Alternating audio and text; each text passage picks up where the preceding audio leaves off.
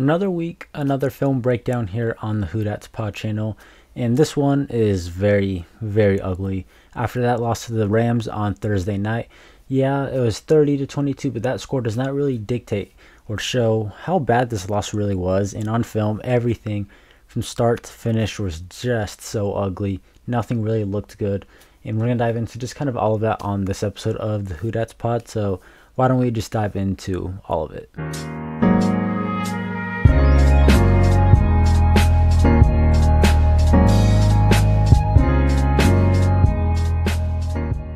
Welcome back to the Who Pod, everyone. I'm Kadin Janisch, your host. Make sure while you're here, you hit that subscribe button. Check me on social media. The links are in the description if you want to go ahead and do so. This is a brutal week, man. These are typically my favorite, and they still are my favorite episodes and pods to do each week. But this one, this one was ugly. Like you could just see how outcoached Dennis Allen's defense was compared to Sean McVay's offense, and from even the Saints offensive perspective, eh, there's just nothing going on. There's not a single player in this game, offense, defense, or special teams, who I thought played a good game. Corners didn't play good. I thought Demario Davis had probably a slouch of a game, especially for him. Defensive line slouches per usual because they aren't a good defensive line. Safeties, I just whatever. I thought they had a pretty rough game as well. Offensively, offensive line did not do very well. Derek Carr, yeah, he has three touchdowns and 300 yards. I think that's what the stat line was, but let's be real, about half of that came in garbage time. And for those of you, I got some comments saying garbage time isn't real. It was only 30 to 7, blah, blah, blah. You can definitely tell that there's garbage time, defense, prevent defense, whatever, quarters coverage being called, which is typically okay. Lay back a little bit. We don't have to go all full out blitzes and stuff like that, which is what the Rams did.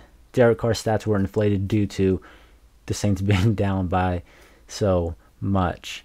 And the receivers, I mean, Shaheed and Olave, I thought they had good games, but even then, Olave still had some pretty bad plays. He was playing on a bad ankle, so I'm not going to give him too much shit. I know he probably played through a lot. I'm not trying to diminish anyone, but there is just, I took really nothing positive away from this game other than they did a good job throwing it to Chris Olave early and often, but even then, it just seemed like Derek Carr and Olave probably could have better chemistry, and everything is just a mess right now. So why don't we? But before we dive into all this, I'm not a film guru. I'm not an analyst. I'm, well, whatever. I'm just a fan, showing some clips to an audience and breaking it down.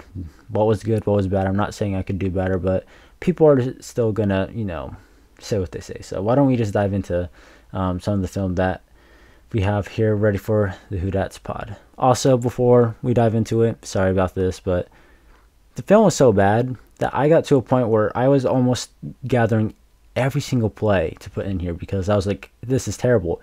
So there's only a few clips in here, some clips in here, like the typical clips that we have. But there's probably like triple the amount of clips that we should have had in here because th- that's how bad it was. So we had to cut back on a lot of plays that there's a lot of plays in here uh, there's a lot of plays that I left out that I wanted to put in here, but due to time and stuff like that, um, I had to leave them out. So why don't we just dive into it real quick? Okay, so this opening play that we have here is actually probably one of the. We do have some positive plays in here, and this is one of them. You're going to get play action on Kamara. You get Moreau kind of coming across, acting like he's going to block on this side. You get play action, Carr is going to drop back. You get a decent protection. Olave's going to come up kind of curl, cut inside. And then you're going to get kind of a crossing route and then just kind of in breaking routes. And then this is the concept. You get man-to-man -man coverage from the looks of it. So why don't we start playing the clip? Um, here's Aaron Donald, I believe. This is Aaron Donald going up against James Hurst and Andrus Peat. Moreau comes across to help out there. Derek Carr does a nice job avoiding the pressure and stepping up into the pocket, having nice awareness. Something we haven't seen too much from him this season in terms of just having pocket awareness, but this is a nice job from him. And as you can see, they're in man coverage, single high safety, so his eyes and his hips are towards covering him. He's coming across, leaving all of this open space these two guys were covering Kamara and Moreau, so now that's why there's so much space in the middle.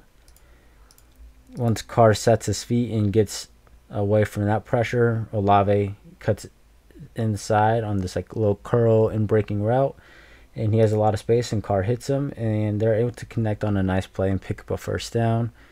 Um, why don't we see the protection from this side? Here, this looks like Aaron Donald um, double team. He, this guy, is not coming down immediately because he sees Moreau coming across. And if you are unblocked on the edge, chances are there is a blocker or a guard or someone is running at you. In some instances, especially the Saints have run this before, he comes this way and then cuts back with Moreau leading. So he's waiting to see what Alvin Kamara and this blocker and Foster Moreau are doing. Ruiz, terrible hand approach, attacks the side shoulder and doesn't get hands on on the pads. By on the pads, I mean, no, whoops. By not on the pads, I mean he didn't attack the chest plate. That's where you want to attack. He attacks the inside shoulder, bad leverage. Carr, nice job avoiding it. More, and Carr is able to find Chris Olave for a nice play one of my biggest issues so far this or just in general for the Saints this season has been their lack of the ability to run the football. You're going to see Hurst and McCoy get on a double team.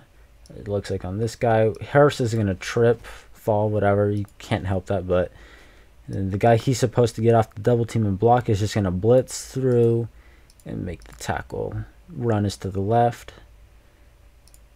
So Hurst is supposed to get off this double team off of 95 and end up blocking the linebacker. Then it looks like this tight end, I think this is Juwan, gets on this double team, then gets off to get to the second level, which he does. Linebacker, who's supposed to be blocked by James Hurst, gets through the gap. Moreau can't really finish his block. Um, if this guy is blocked, there's maybe a length for Kamara to get a few yards, but even then, this guy is also off his block. And there's just nothing really for Alvin Kamara to go. There's just terrible offensive line play. Here's a better angle but you can see James Hurst right here. He's going to trip. The guy who's supposed to cut block shoots through the gap. Moreau needs to get a better block and better leverage and angle on that block. Kamara tries to cutting up and ends up losing about a yard, I believe. I believe this was the fourth down, the first fourth down of the game. At Taysom Hill running across. It looks like this is Juwan. He's going to kind of sit. He's going to come up. I think that's Shaheed and Olave. He's going to run an out route. Um, that's a terrible arrow. There we go. Not that much better, but um, Rams are blitzing, and what we've learned so far this season is that Derek Carr is not a very good quarterback under pressure. So the what the Rams did is what every team should do when they whenever they face the Saints. Third and fourth down situations, send five guys. And because one, the Saints offensive line is not that good. Two, Carr cannot handle pressure very well. And three, when your quarterback can't handle pressure very well and you are in man to man coverage, He's going to throw some passes or take some hits. This is fourth down. Jamaal Williams. Rams send one, two, three, four, five. And they double team Aaron Donald, I believe, which is smart. Also, not a big fan of the route concept and the play design. Chris Olave is having struggle getting off the press coverage. Why don't we rewind back a few seconds and see? Here's Olave. He kind of struggles getting off of this press coverage physicality. The sticks are at the 20 40 yard line. And by the time Carr is sacked, Olave's route, which I'm assuming was one of the main routes, hasn't even gotten there. You have two routes kind of in the middle of each other, so throwing to Juwan would be stupid because there's an extra defender. So now you have basically one defender covering two players and a go route on fourth down, I just don't see the logic in that. Like, run some like curls or smash concept or something. And Derek Carr ends up getting sacked, doesn't have enough time, nowhere to really throw. Play design was not the best. I agreed with going for it on fourth down, but um, did not like the execution or the play call. Jamaal Williams right here. Nothing much Carr could also do Can't throw it to Taysom because you got three defenders covering two guys, which is insane. Why are they in the same spot?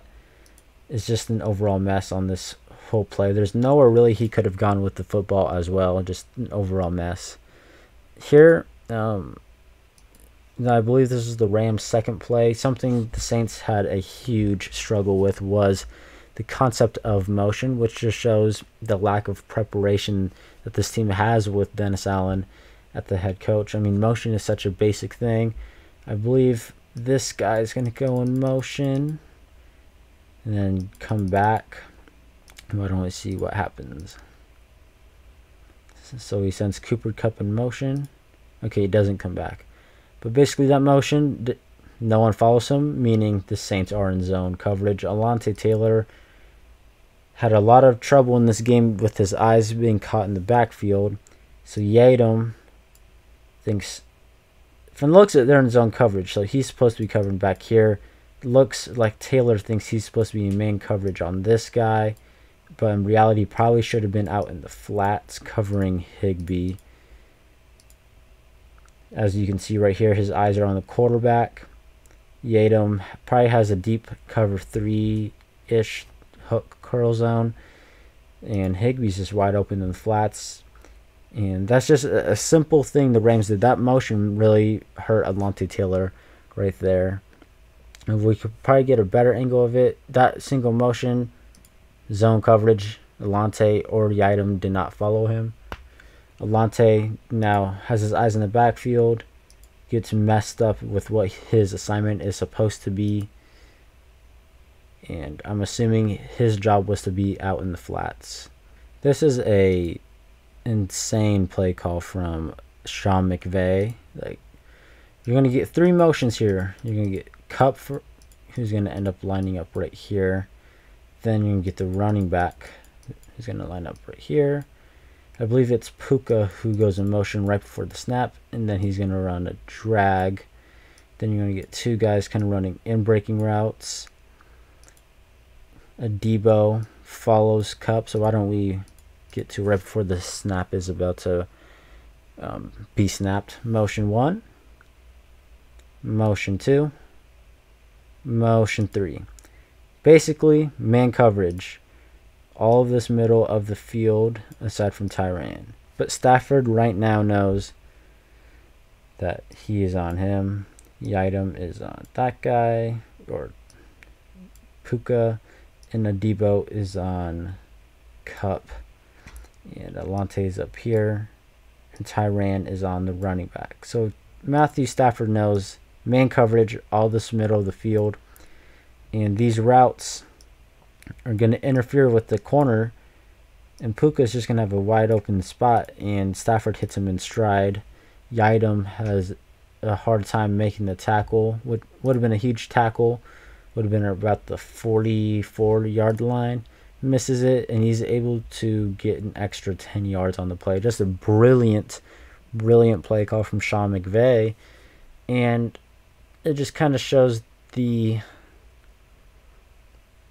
why having good coaching matters. I mean, three motions in one play, and it just feels like the Saints, whenever they play teams that use a lot of motion, they tend to struggle in stopping it, and that shows lack of preparation, lack of what they're doing in practice, lack of the scouting, and what they're doing in practice with the scouting. And that's why they have all these super slow and rough starts. This is a second and 18. Get the tight end in motion. What that does is that shifts Demario's a little bit. You're going to get running back up the middle. These guys are going to double team. Then he's going to get off his double team and get up to the second level. Whether that's Demario or Tyrann he meets first, that doesn't matter. You're just going to kind of see the terrible run defense that the Saints have. Center gets off the double team. That shift in motion gets Demario all the way out here. So now you have four guys over here because of that simple motion your best run stuffer in Demario Davis can't make a play. He does make the tackle, but he can't really make an instant play. And look at all the space the center is about to be one on one with. It looks like Tyrann Mathieu. and they're able to get 10 yards on a second and 18 run, while the Saints can barely get a yard on a first down and 10 run. Can't pick up a first down on third and one. Um, good coaching, man. Good coaching from Sean McVay. The coaching matters. He doesn't even get on the double team. Saunders just kind of gets approached by the guard immediately. Cam Jordan just kind of gets pushed out a little bit. Adebo does a nice job coming in and closing in, kind of creating a little bit of body space. Um, but he's still able to get 10 yards on a second and 18 run. All right, right here, you're going to get motion from Hill. He's going to line up at the tight end spot. No one follows him, so you can assume it's going to be man. It's not always man, but if it's zone coverage, this is a nice play call, which it does end up being zone just simple curls, and then you're going to get a play action from Alvin Kamara. And in zone coverage, those curls and hooks typically do a nice job getting you yardage. Play action, nice pocket. You see the zones. Um, this is a zone you want to attack, or this is a zone you want to attack. And Carr ends up attacking those zones. Gets it to Rashid Shaheed for a nice play. We'll see the other angle of it. Where's Aaron Donald? Here he is. Why don't we see what the Saints did right here? There's Taysom Hill. James Hurst and Andrus Peat block him. Hurst does a nice job there on Aaron Donald, all things considered. And he finds Shaheed for a nice play. I'll give him that. This is what I mean when in previous video or in previous videos I've mentioned um, Derek Carr has been an issue. Yes, he is an issue. He is definitely not the answer. But the Saints have bigger issues other than quarterback. I mean, offensive line is just really bad. Andrus Peat is serviceable, but he's not going to help you long term. James Hurst is fine. You'd prefer if he was a backup. McCoy's the only consistent, like solid starter. Ruiz has had his highs and lows this season. Ryan Ramczyk is closer to retirement with that knee injury than he is to being in the middle of his career. You probably have like a year or two left with Ryan Ramczyk. Landon Young struggling. I don't even think this is a third down, and the Rams are able to get a sack here. So they do a nice job chipping zero. Hurst just gets beat. We'll just have to look the other angle because I don't want to break it down from here. Okay. Hurst one on one with 91 smart. They're double teaming Aaron Donald one on one, one on one. And Jamaal's going to kind of chip a little bit, help give Peat a little bit of help. And Hurst just flat out gets beat. And even, and, even if Hurst doesn't get beat, Aaron Donald got off that double team from Ruiz and McCoy. Um, just a really bad offensive line and a really bad offense another excellent play call from Sean McVay. We get Puka in motion. I believe Kupp is going to run a seam. No one follows Puka Nacua hinting or showing that it is a zone coverage. Demario Davis and the safety are going to follow this seam route. I believe this is the guy who runs the seam. Someone runs the seam route. Puka's going to come over here run an in breaking route and he's going to run an out breaking route. So why don't we hit play? No one follows, showing zone coverage. As you can see, Demario Davis, who covers the middle of the field in some situations, is following Kupp on this deep seam, which this is his job to do. The safety over here is following this guy. And Tyrann, there's no work literally for him on this side of the field. So he's going to provide some help to Demario Davis. What this does though, with Demario, who's typically over the middle, he's downfield.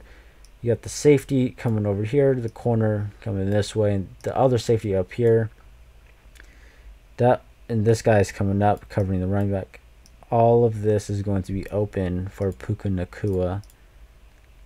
Stafford, you can't simply play zone against a guy like Matthew Stafford. He's just too good. And with these weapons, it just works so well, especially with Sean McVay at head coach and calling plays. And there's the motion. And the Saints don't have a good enough front four to be playing zone because they can't get any pressure. Very clean pocket. First down finds Nacua for a huge play. I like this play from Pete Carmichael. We're going to get Juwan on a wheel. You get Shaheed kind of running a post, taking away this safety a little bit. Get Olave in motion, and these guys are just going to kind of run in breaking routes.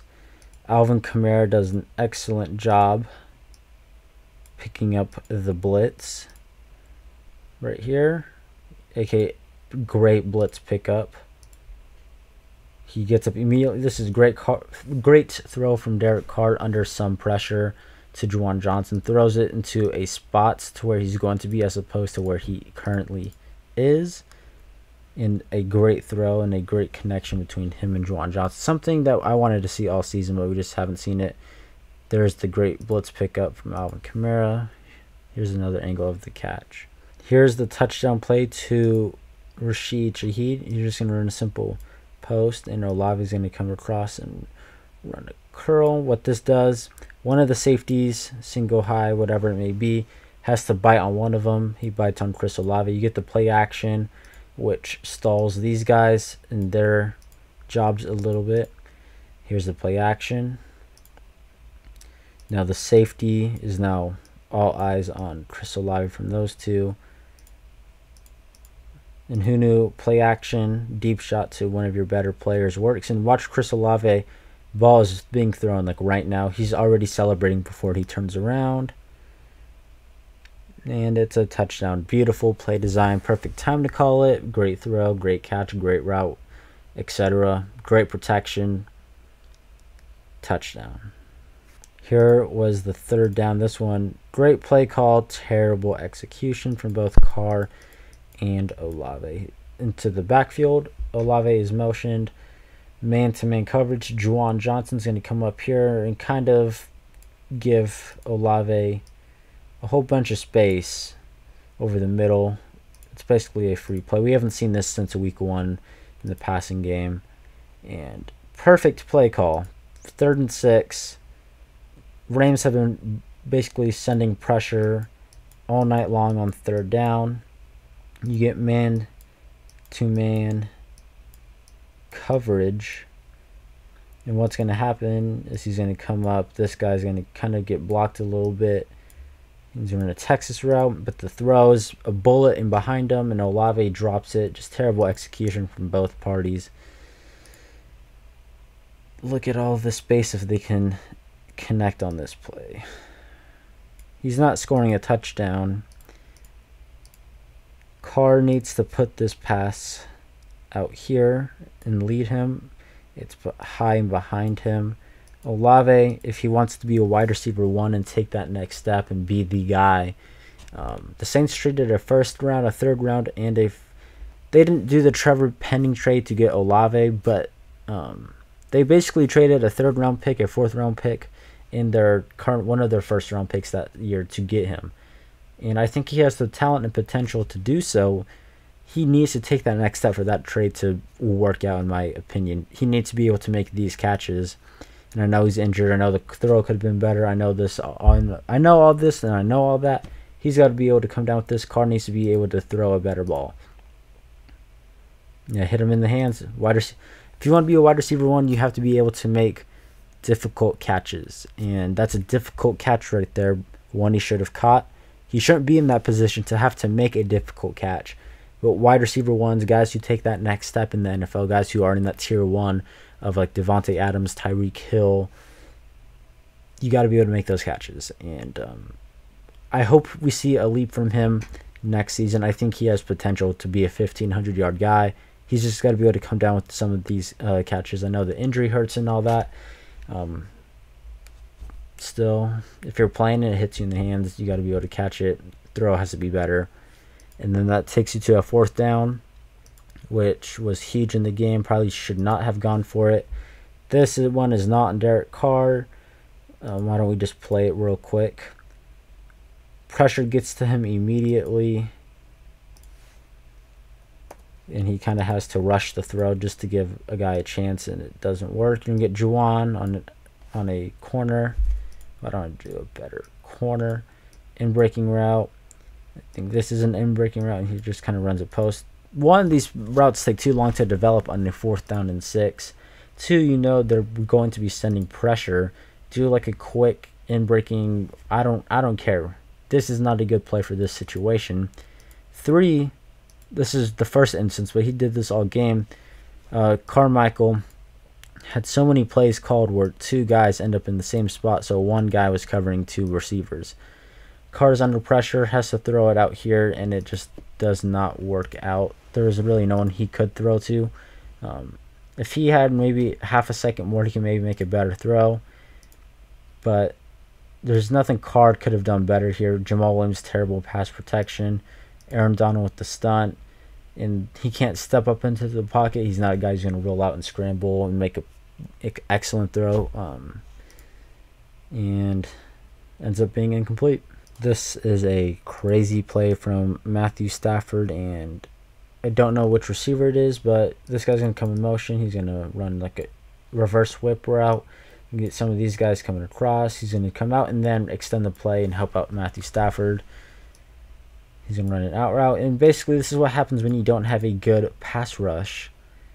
Pocket, pocket, all this time, all this time. Okay, I mean, he didn't really have to leave the pocket, in my opinion. Rolls out left. Yiadom is looking at Stafford. Should be on the receiver, and he knows he gets beat at this point. Needs to get his head around, keep his eyes on the receiver, and just a brutal play. Again, some of these plays, the secondary had good coverage, but when your front four can't get a sack in, why don't we count 1 1000, 2 1000, 3 1000, 4 1000, 5 1000. So 5 seconds in the pocket, just the pocket, then extends it another 2.5 seconds outside. If you can't get sacks in 7.5 seconds, your secondary is going to be cooked. And this is what happens also when you play an actual good offense and not Tommy DeVito and Wan'Dale Robinson and Bryce Young and DJ Chark. This is a real offense the the best offense the Saints defense has played all season. They got exposed, and they're probably not as good as we thought they were because of their opponents. Right here is the interception. You can get a go route. You can get a drag, corner, and a post. And Carr feels the sense of pressure, very similar to his interception in Carolina. There's nowhere really to go with this football right now. He ends up trying to get it right here to throw it into a window over here. He won. Just that's a difficult throw to make. I don't even know if that's a throw Drew Brees could make. He's expecting this receiver to take this corner with them. He's expecting to. He's trying to place the ball to this area of the field, and he just simply doesn't have the. I don't say he doesn't have the talent to do so, but he doesn't have the talent to make this throw, in my opinion especially in this kind of pocket as well. No one's also open, and it is just a poorly thrown pass. He just doesn't see this defender the whole time. And there's the run back. Um, here's the pass protection view from it. This guy's going to come down and blitz. Kamara misses the block. He's under pressure. This is a throw he should not have made. The pressure didn't help, and it was a bad read. And we're not going to show the whole return because we don't need to see that. This is what I was talking about about garbage time. The Rams are only going to rush three guys. They're in zone prevent defense. You're going to get Shaheed kind of running across and Olave coming across. And Carr has so much time to make a pass on this play. This is what I mean by garbage time. Why don't we play it? Three guys are blitzing. You're telling me this is not a prevent defense when you're up 23 points in the fourth quarter?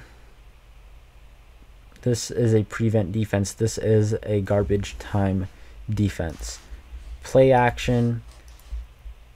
Carr hits Olave. He's open. He's able to make a nice yards after the catch. and get out of bounds. But this is a garbage time defense. Half of those garbage time stats that Derek Carr has are garbage time stats. Two of those three touchdowns came in garbage time. 300 total yards, about 100 of them, 120 came in garbage time. So while the stat sheet says he had a good game, while the score was close, it was not a close game. He did not have the best game. No one had a good game. Yeah, you're you're telling me that's not garbage time defense right there. Fourth down and seven. Go route. Go route. Sit. Chip block. Drag. No idea what kind of play call this is when you have to get to the 28 yard line. This is the 28 yard line. Don't know why this is the play design. No idea. Initially, this is probably the read. And maybe if Carr holds on a little bit longer, Juwan takes this guy with them, he can maybe make this throw. But why are you in a situation to where you can only throw to two guys at the sticks for the first down? Why are two guys going to the end zone? It just does not make really any sense to me. And Juwan is not able to get the first down, obviously. Here's the other angle of it. Prentice, another thing I haven't mentioned basically throughout the video.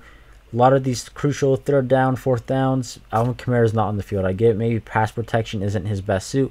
Then put him out at receiver. I'd rather have Alvin Kamara at receiver with Olave and Shaheed than have A.T. Perry and Juwan in. That's just my opinion. Prentice doesn't even block on this play. You can, if Carr holds on another second, half second, he can maybe make this throw.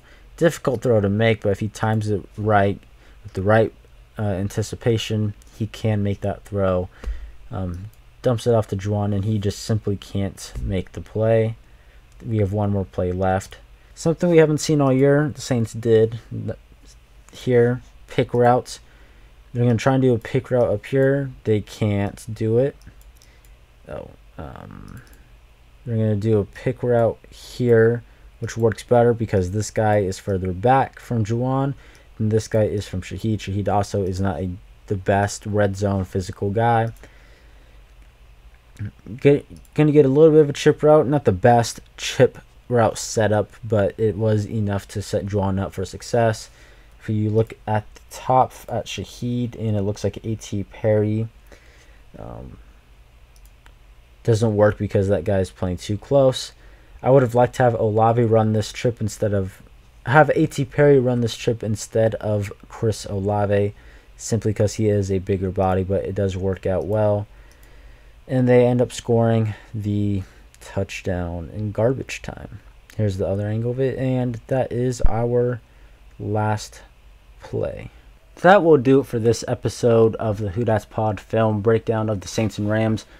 Really brutal one, and this is just the stuff that I showed. There was so many more plays in here that I could have put on here. This it would have been like a two-hour episode. It was really bad, but even though it was bad, hopefully you enjoyed it. Hopefully you I don't know why you would enjoy watching this team get shit on by the Rams, but hopefully you did get some entertainment out of it. And I will see you all in the next episode, breaking down and looking at the Saints and Buccaneers preview on Sunday. So I will see you all then. Check me on social media, hit that subscribe button.